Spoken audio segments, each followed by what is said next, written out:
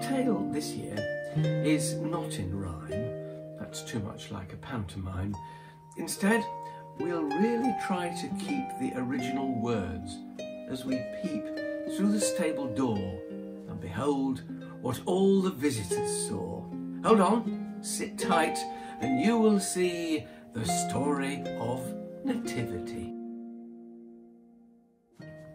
A long time ago, in a land a long way away from Farley, there lived a carpenter called Joseph, and he was married to Mary. Mary was going to have a baby, and the time was getting close. But the emperor, a man a bit like Boris Johnson, sent out a message that everyone had to travel to the place they were born and register their names.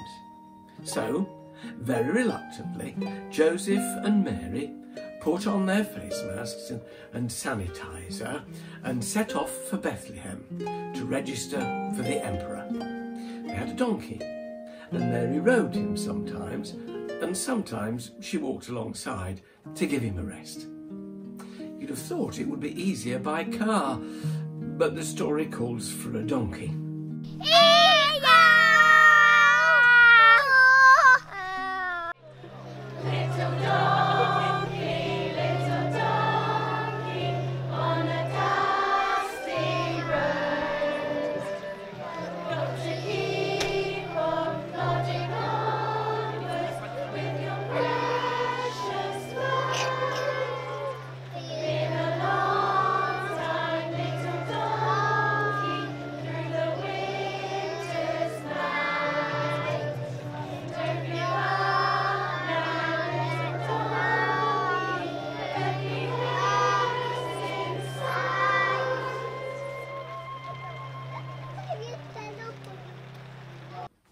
Travelled through fields and forests and took a very long time, but eventually they came to Bethlehem and tried to find somewhere to stay. But due to the virus, that was very difficult indeed. This looks nice place to stay, but the door is closed. How we get in? Ee-ah! Look, here comes someone look like the innkeeper. Maybe they can help us. I do hurt. I'm very tired.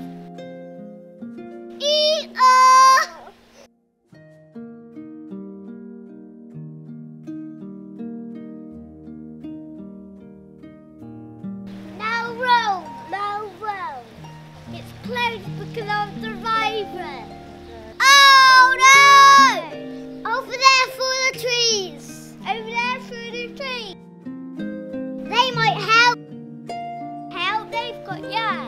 got yaks.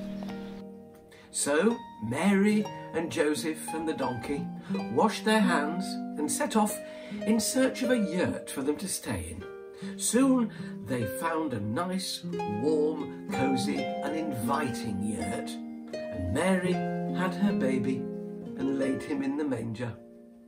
It was a very cold night and soon all the farm animals noticed that the fire was burning in the yurt and they all came in from the cold and were amazed to see the baby with Mary and Joseph.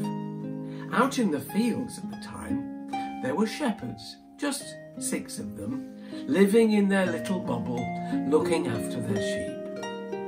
Was a cold night out in the fields, but they were glad to be out of the city where the virus was making people ill. They were just falling asleep when they were woken up by a very bright light in the sky. See the sleeping shepherds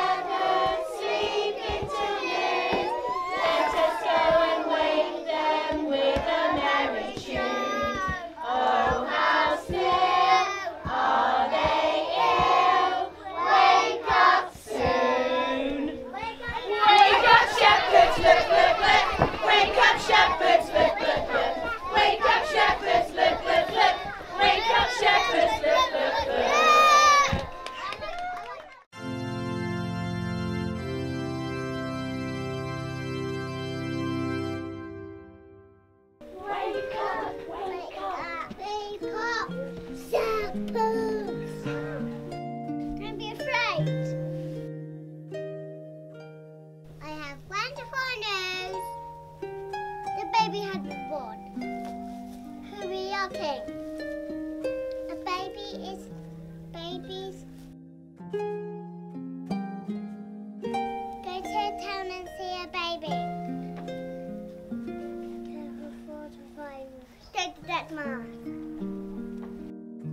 So the shepherds all jumped up and went into the town to see the baby in the yurt.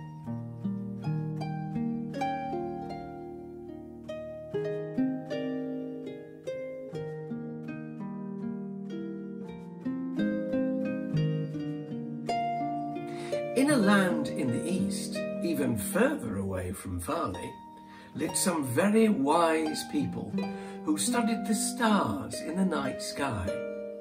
That very night, a new star, brighter than any they'd seen, appeared in the sky, and they didn't know what it meant.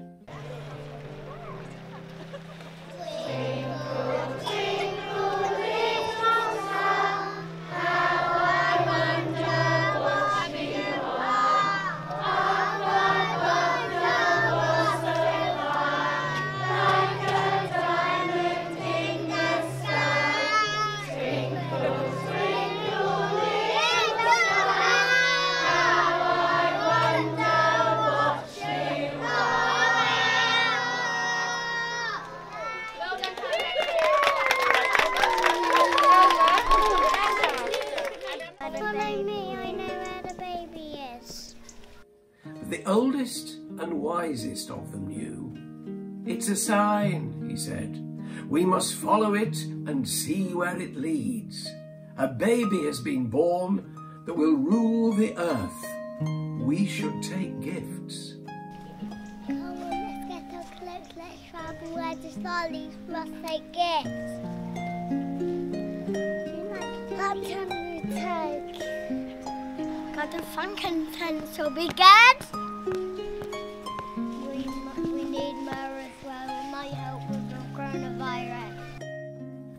So the wise people came from the east, and they went in to the yurt and saw the baby with Mary and Joseph, and they gave gifts of gold, frankincense, and myrrh, which they hoped would help with the virus.